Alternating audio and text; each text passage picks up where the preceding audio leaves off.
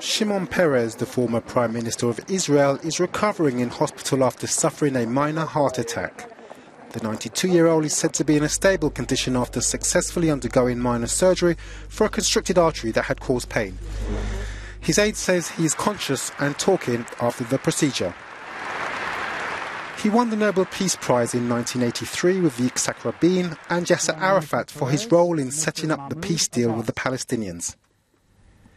Peres served three times as Prime Minister of Israel. He then went on to become the first PM to be elected as President, serving from 2007 to 2014.